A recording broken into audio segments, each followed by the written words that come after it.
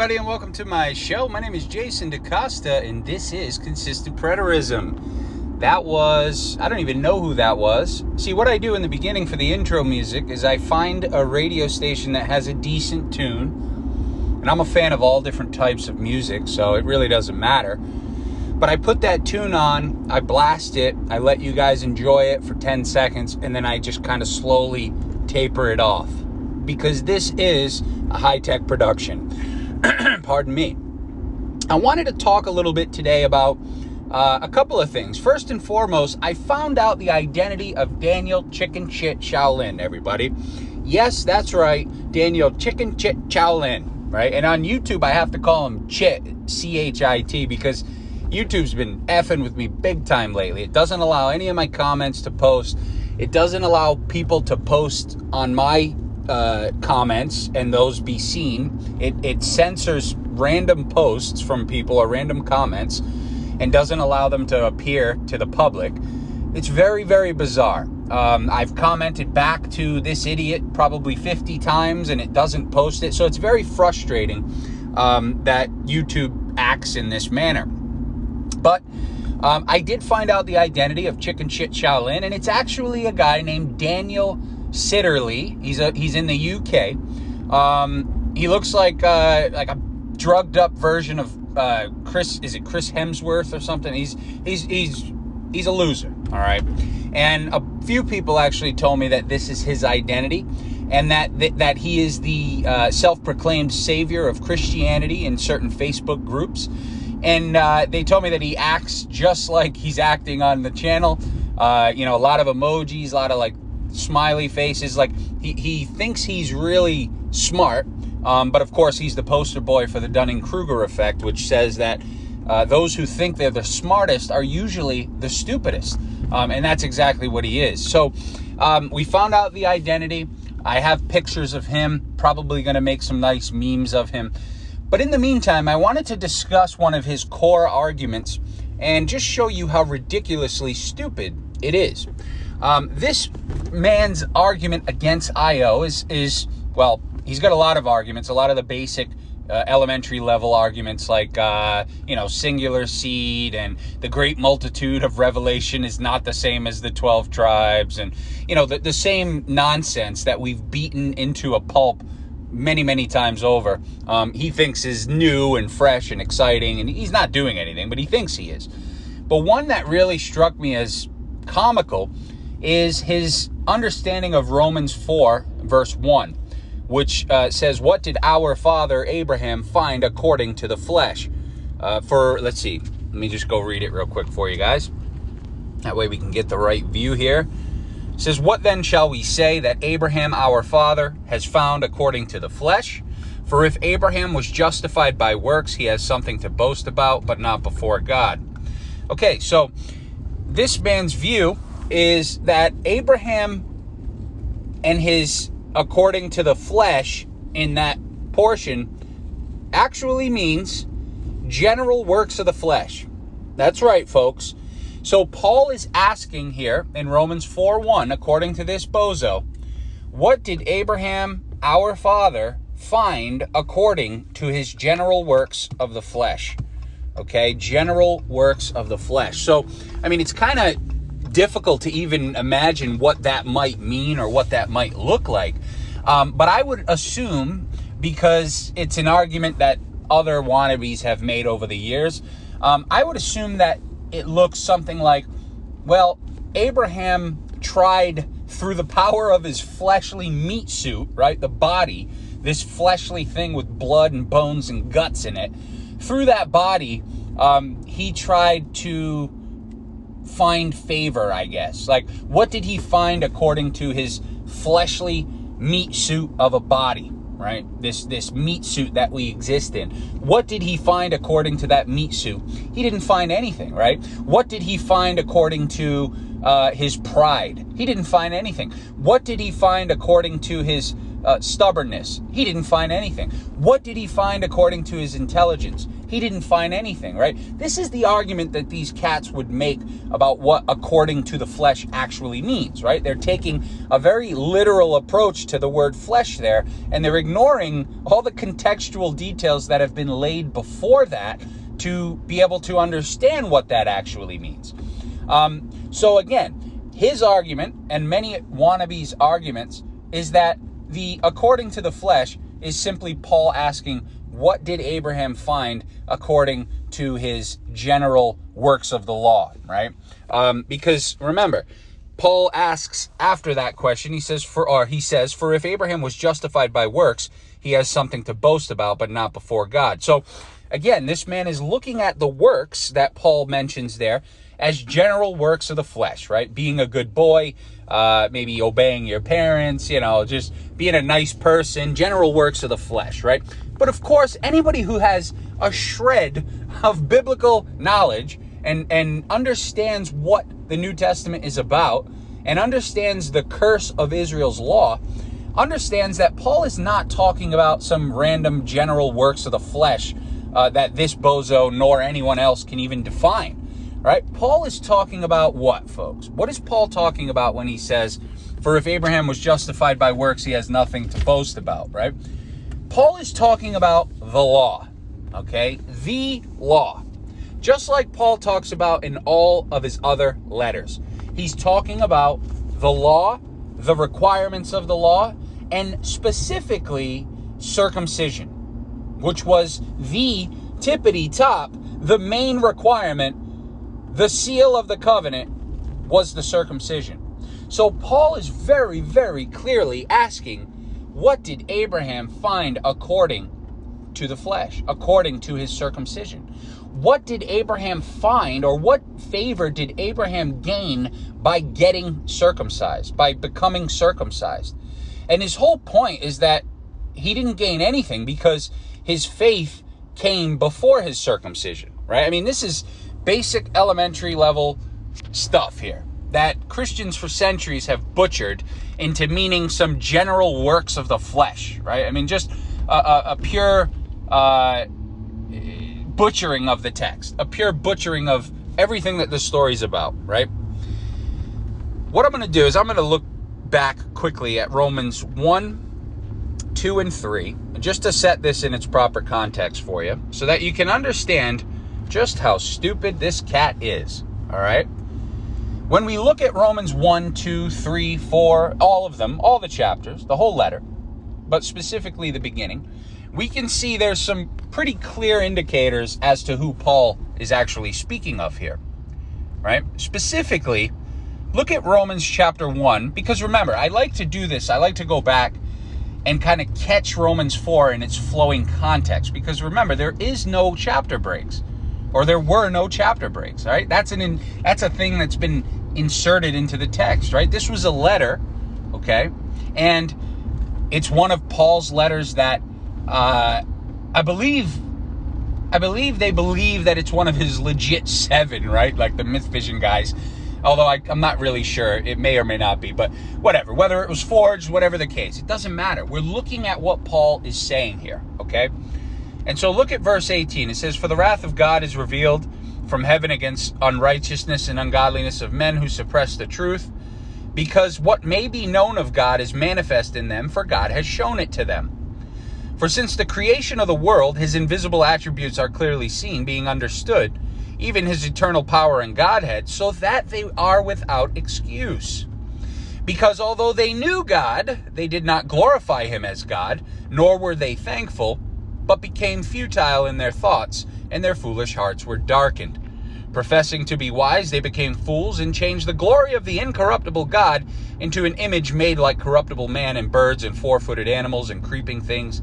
Therefore, God also gave them up to uncleanness, uncleanness in the lusts of their hearts, to dishonor their bodies among themselves, who exchanged the truth of God for the lie, and worship and serve the creature rather than the Creator, who is blessed forever. Amen. So, what is Paul doing there in Romans 1 as he's introducing this whole concept of these individuals breaking their relationship with their God, right? Well, I'll tell you what he's doing. It's very clear, it's very powerful, and it smacks and splatters little bugs like Daniel Chicken Shit Shitterly. Okay, it smacks them down into the dirt where they belong. Paul is saying, Paul is clearly speaking of an individual party or a group or an exclusive group of individuals that knew God, right? He says it flat out. They knew God. But although they knew God, they did not glorify God, but instead became darkened and their foolish hearts were darkened and God gave them up to vile passions, right? It also says that he showed himself to them. He manifested himself to them. Now folks, listen to me, okay? Just listen to me. If anyone tells you that pagans, right, the outer world knew God or had a relationship with God or that God revealed himself or manifested himself to pagan nations and that God had a relationship with them. They are boneheads, all right? I just I have to make that clear. If anyone tells you that, then they you you need to go away from them immediately because they do not understand the story, right? Because if you look at the Old Testament, the only thing that we can take from the Old Testament when it comes to that subject is that God only knew Israel. He only revealed himself to Israel. He didn't even know the other nations, says Psalm 147, right? He didn't even know the other nations, okay? Deuteronomy, as Moses is outlining this whole covenant for the Israelites, he says, What great nation has the Lord our God? In other words, no great nation did. He goes on, he says, He did marvelous things before your eyes, right? That's that whole, He manifested Himself to you, He showed Himself to you. He revealed himself to you. Right? And and of course the whole point of this with Moses back in the start is that these Israelites, the covenant people, were given such a responsibility and such a divine um, blessing by being able to be, you know, to be in relationship with this individual God, Yahweh, that they needed to really not screw up, right? He's telling them, he's saying, you need to take this to heart. You need to write it on your heart right? The law being written on your hearts, it all ties together. But he's telling them, take it to heart and cherish this because this is very important. And if you notice, he says, if you don't do this, if you don't abide by the law and be careful to observe everything written in it, you're going to be cursed, right? How many times do we see the curse language used in Deuteronomy when Moses is outlining what the law was? It was either going to be a blessing or a curse to the people. And of course, flash forward to the end of the story, we see Paul's entire focus in all of his letters is about the law. It's about the curse of the law. Cursed is everyone who does not do all things written in the book of law. He has wiped out the handwriting of requirements that was against us, he told the Colossians, right? He has nailed the law to the cross, he told the Ephesians, right? The whole point of Paul, he's the end of the law to those who believe. He was born into the law to redeem those under the law. The whole point of all Paul's epistles is the law, folks. Not some general works of the flesh like bonehead shitterly would have you believe, but the actual law, the only law in this story, the law of Israel. Okay? And that's what we talk about things coming full circle, letting the story dictate the story, stuff like that, which Shitterly and other doofuses do not do. But Romans 1, Paul drops the bomb on Shitterly and the gang, and he says Although they knew God, they didn't glorify God, but instead they became darkened and they worshiped four footed cows and creatures and beasts. Well, this is precisely Israel. This is exactly Israel. This is everything that we see in the Old Testament about Israel, folks. This is what it is. And Paul is just going through the rundown of Israel's history. He's outlining almost picture perfectly, word for word, everything that we see that took place with Israel in their history. See, guys like Shitterly don't understand that. In order for um, someone to have known God and then fallen away from that, they would have to have been in covenant because only the covenant people were said to have known this God. Right? You alone have I known of all the nations of the earth. Right? This is all over the Old Testament. Okay? So that's point number one. And what's interesting is if you compare Romans 1 to places like Acts chapter 7, we remember Acts 7 where Stephen is giving the discourse in Jerusalem, I believe it is. And what does Stephen say there? He says he goes through the children of Israel's history. Right? This is this is not a this is no surprise to anybody, right? It's not like Stephen's being mysterious about it. He literally says that, okay, I'm about to talk about Israel's entire history. Go read it, Acts chapter 7. Okay? And notice what Stephen says about the children of Israel. As he's going through the history and talking about their idolatry and what happened with them and Moses and Abraham and everything, what does he say? He says, I'm paraphrasing here because I'm running over dead squirrels on the road, but he says, and they were darkened, and God gave them up to their vile passions and stuff like that. But the, the language to really take notice of is God giving them up to their vile passions. This is precisely what Paul says in Romans 1, people. Right? Here it is. They changed the glory of God to corruptible man and birds and four footing beasts and creeping things. Therefore, God gave them up to their uncleanness in the lust of their hearts, yada, yada, yada. For this reason, God gave them up to their vile passions. Even their women exchanged the natural use. Even their women, right? Their women. Who's there? You can see the contextuality if that's even a word, of what Paul's doing here. Paul is not speaking of every human being on planet Earth. He's speaking of an exclusive, unique group of individuals, and that was the covenant people. Even their women gave it up, right? But God gave them up to their uncleanness. And this is the whole point of Israel. This is the entire tale, okay? This is everything that we see taking place in their histories.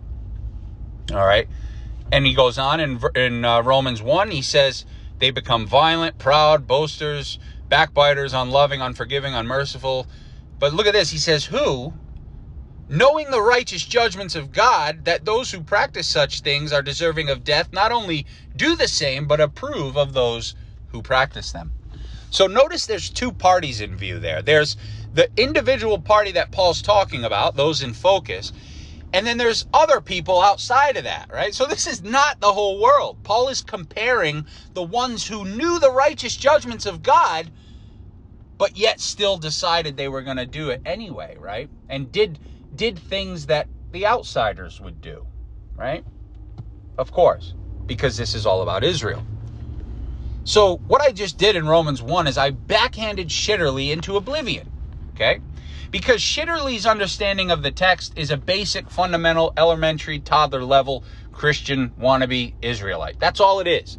With a little twist because he adds smiley face emojis and LOLs and makes it seem as though he's defeating people in debate.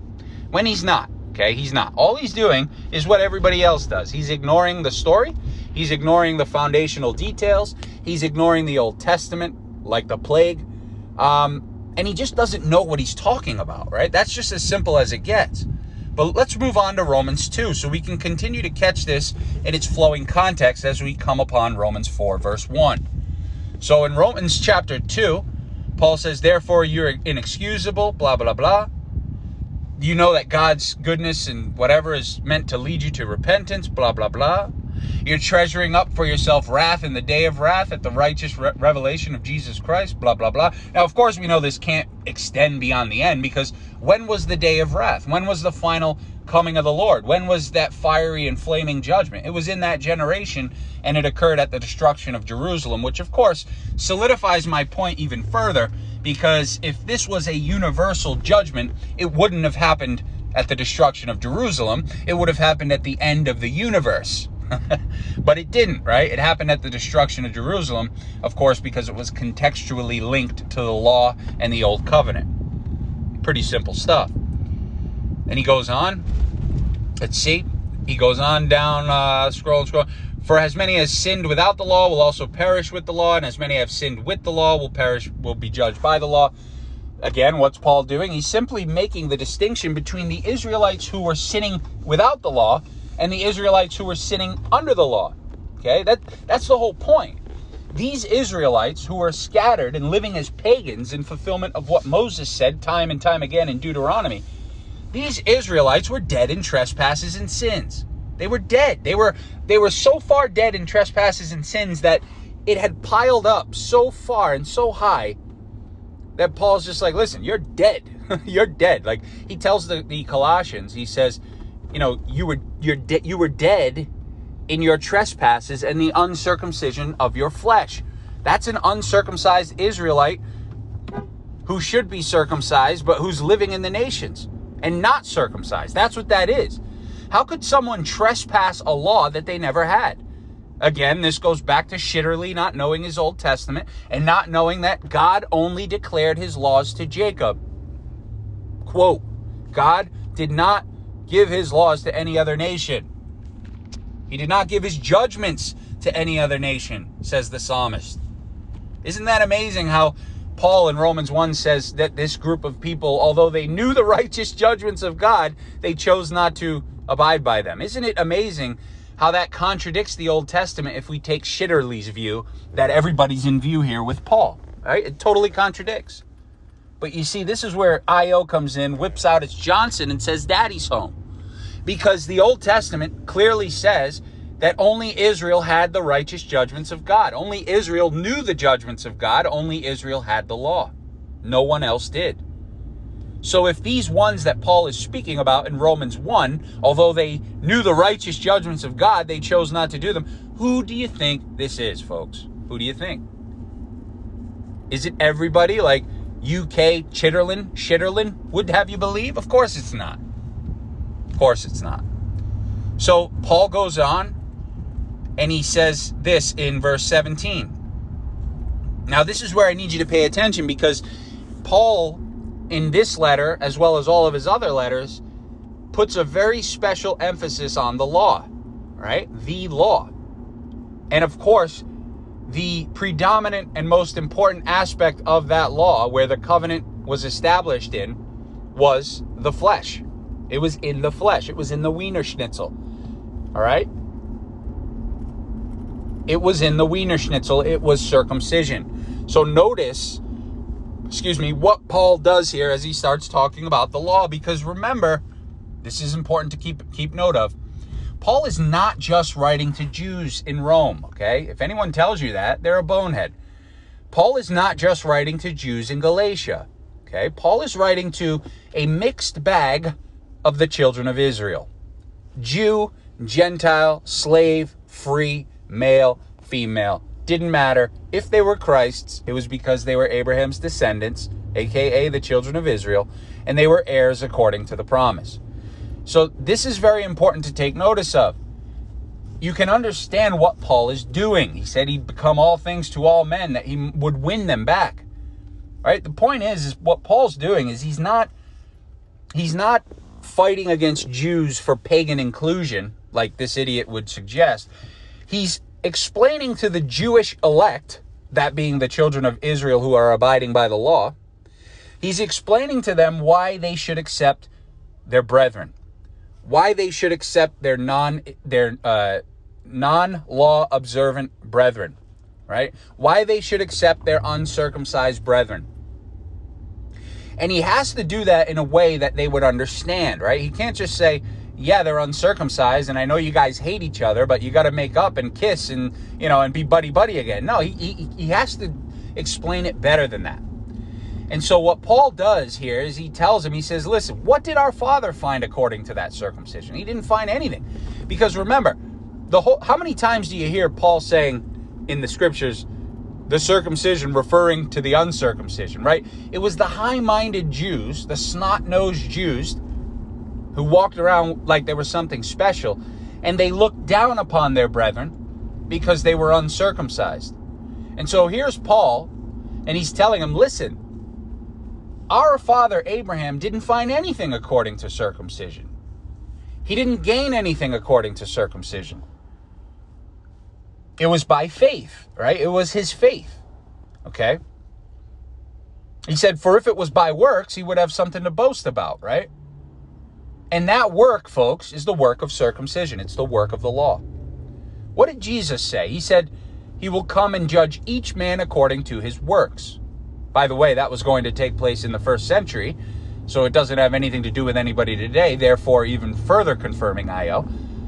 But what did Jesus say? He said he's coming to judge each man according to his works. Well, folks, simple stuff here, simple concept. In order to be judged, one would need a law. Okay, that's just as simple as it gets. You cannot judge somebody by a general moral heart law because we all have different societies, different cultures. We're all brought up differently, right? Nobody's the same. Okay? So you can't judge somebody by a moral heart law. Well, if you say, oh, what about the Ten Commandments? Uh, okay, who's keeping the Sabbath holy? Right? You, you run into so many different problems. So Jesus saying that he was coming to judge each man according to his works clearly involves those who are under the law. They were being judged according to the law, according to their works under the law.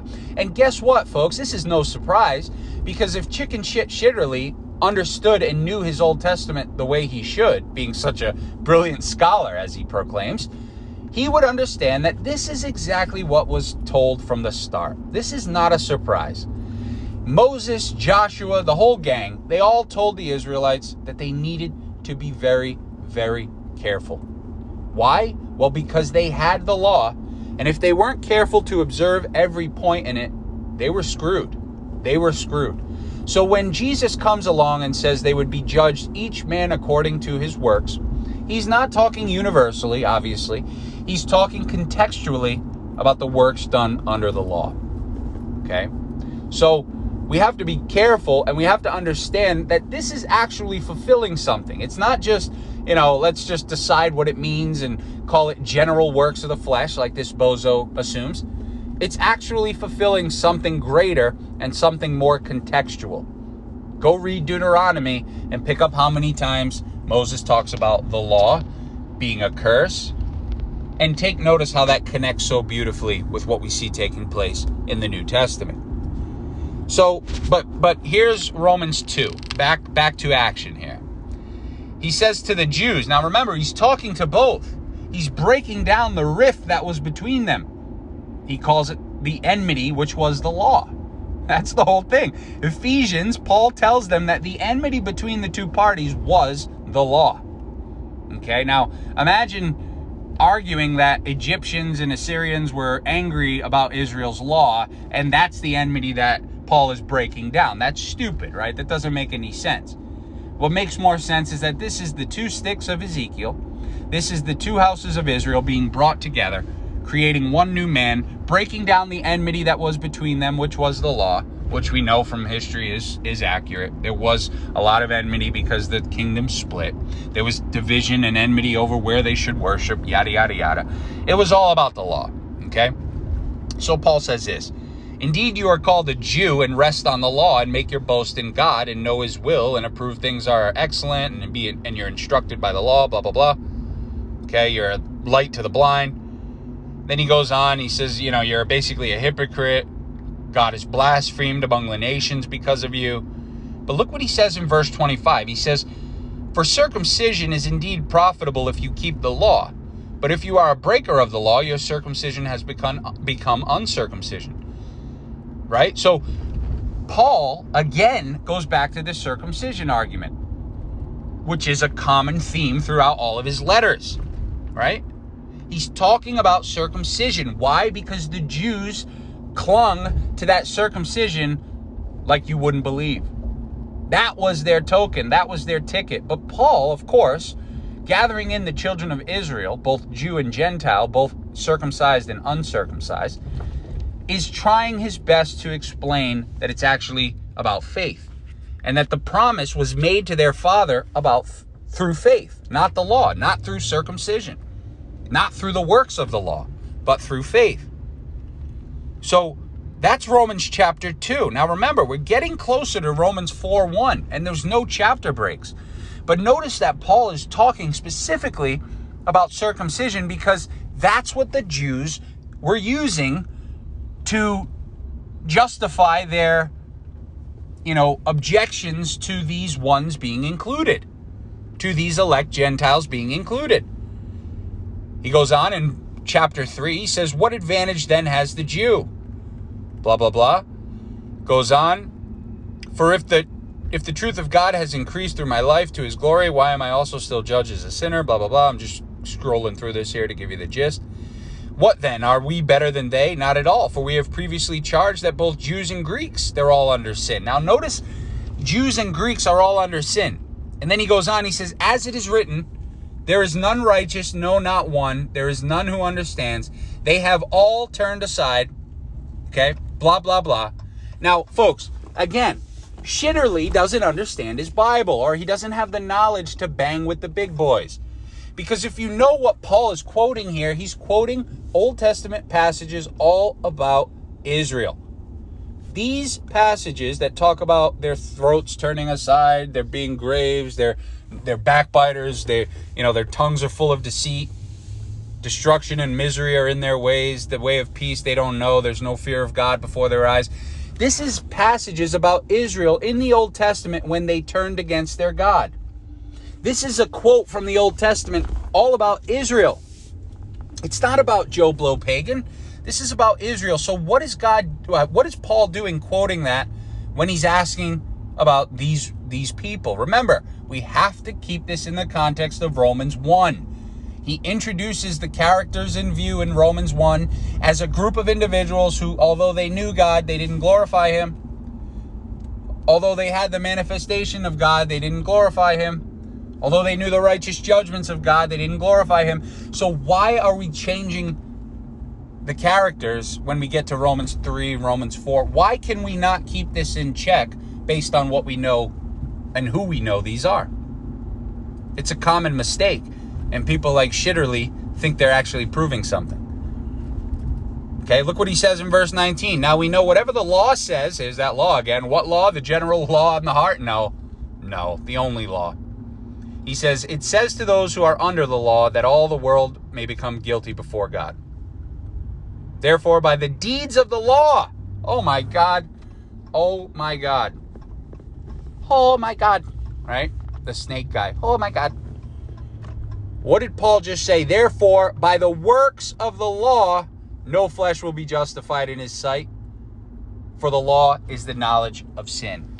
For by the law is the knowledge of sin. So, folks, God, that hurts. That really hurts Shitterly's argument. Therefore, by the works of the law. Right? Here's Paul, just a few passages before Romans 4 1, talking about the works of the law. And here's Shitterly in Romans 4:1 arguing with me that this is not about the works of the law. This is not about circumcision, folks. This is about the general works of the flesh. Right? Shitterly knows better than Paul. But here's Paul in Romans 3, verse 20, saying, Therefore, by the works of the law, no flesh will be justified. That is precisely what he says in Romans 4 1. Right? Think about it. What did our father Abraham find according to the flesh? Right? Let me go let me go read it again because I don't want I don't want to miss out on this. This is very important. What then shall we say that our father Abraham has find has found according to the flesh? For if Abraham was justified by works, he has something to boast about. Justified by works. Folks, Shitterly argues that this is general works of the flesh. My argument is that Paul's talking about works of the law. Let's jump back one chapter to Romans 3 and let's catch this in its flowing context. Romans 3, verse 20. I'm sorry, Romans 3, verse. Uh, oh, where am I? Nope, that's Romans 4. Let me go back. Remember, Shitterly says that it's about works of the general flesh. But Paul in Romans 20 smacks shitterly into UK oblivion and says, Therefore, by the works of the law, no flesh will be justified. So, folks, who's correct? I'm correct. Works of the law is what Paul is talking about in Romans 4 1. Very, very clearly. Okay? And then look at this. Look at this. Just a couple verses prior in Romans 3, verse 27, at the very end of Romans chapter 3, just before we turn the page and see Romans chapter 4, verse 1, where Shitterly claims it's about general works of the flesh. Look what Paul says. He says in verse 27, Where is the boasting? Right? Where is the boasting? Now remember, Romans 4, verse 1 is talking about Abraham boasting in the works of the flesh right? If he's boasting in his works, right? But look at what Paul says. Where is the boasting? Is it excluded by what law? Right? By what law? This is getting ugly for Shitterly here. Of works? No, but by the law of faith. Therefore, we conclude that a man is justified by faith apart from the works of the law. Apart from the works of the law. Now remember, two verses later, Paul's going to ask, What did our father Abraham find according to the flesh, according to the law? He found nothing, right? Because Paul's whole point is that if he did find something, then he would have something to boast about. Right? He would he would be able to boast in that. But here's Paul, just a couple verses prior, and he's saying very clearly, therefore, we conclude that a man is justified by faith apart from the works of the law. And he goes on, he says, Or is he the God of the Jews only? Is he not also the God of the Gentiles? Yes, the Gentiles also. Since there is one God who will justify the circumcised by faith and the uncircumcised through faith, do we then make void the law through faith? Certainly not. On the contrary, we establish the law very next passage, what then shall we say that Abraham our father has found according to the law? You see how that works? For if Abraham was justified by works of the law, he has something to boast about, but not before God. Abraham believed God, and it was accounted to him for righteousness. Now, to him who works, the wages are not counted as grace, but as debt. But to him who does not work and believes, his faith is accounted for righteousness. Then he goes on in verse 9, he says, Does this blessedness then come upon the circumcised only? See how Paul's whole focus throughout this whole first four chapters of Romans is on the law and on the works of the law and on circumcision? And do you see how Shitterly has to force feed that concept of general works of the flesh down your throat in order to avoid this? Shitterly doesn't have a clue what he's talking about. Paul's entire focus in Romans 1, 2, 3, and 4 is all about faith versus works of the law. That's it. Not faith versus general works of the flesh, of the meat suit. No, faith versus works of their law. He's breaking down the enmity, which was the law. He's telling the descendants of Israel that their father Abraham found favor with their God prior to his circumcision through his faith. And remember, just a couple verses later, Paul's going to say the promise wasn't to Abraham and to his seed through the law, but it was to Abraham and to his seed through the righteousness of faith. I'll rephrase that so you understand it a little bit better. The promise wasn't to Abraham and to his descendants Israel through the law, but it was to Abraham and his descendants Israel through faith. Because remember, the promise came through Isaac. Who came through Isaac? Jacob. Who came from Jacob? The 12 tribes of Israel. So shall your descendants be, ladies and gents. And of course, we know this fits with everything else Paul said, like Galatians when he gives the analogy of the free woman versus the bondwoman. That whole analogy is faith versus the law. That's the whole analogy. Not faith versus general works of the flesh, like Chicken Shit Shaolin would have you believe. Faith versus the law can't be any clearer, folks. Folks, I hope you enjoyed this one. I hope it made a lot of sense. Romans is all about Israel. Paul's entire discourse in Romans chapter 1 explains very clearly and doesn't allow us to uh, stray off in different ideas and speculation. He keeps it tight. He tells you who the group is that's in focus, the, who the group is that is unrighteous, He's, he's, he's explaining Israel's history in a nutshell, the same thing Stephen does in Acts 7, use the exact same words, exact same descriptions. In order for chicken shit, Shaolin, Chitterly to be correct, everything in the Old Testament would need to be thrown out, disregarded, blacked out, ripped out. You'd have to start saying that pagans knew God, pagans knew the judgments of God, pagans had relationship with God, God manifested himself to pagans. But of course, we know none of that is true. We know quite the opposite is true. So, folks, what did our father Abraham find according to his circumcision? Is Paul's question. Plain and simple. Because he's beating down the point that the works of the law will not justify them. It's their faith. It's their faith. Okay? Very simply. But it's contextual faith. Okay? It's contextual faith. so shall your descendants be. I hope you enjoyed it, everybody. If you did, give it a like a Rooski. Daniel Chicken Shit Shaolin. Tell your wifey to give me a call. Uh, and uh, we'll catch everybody on that flip side. I hope you all have a great day and a great weekend. And we'll see you soon. Take care, everyone. Bye bye.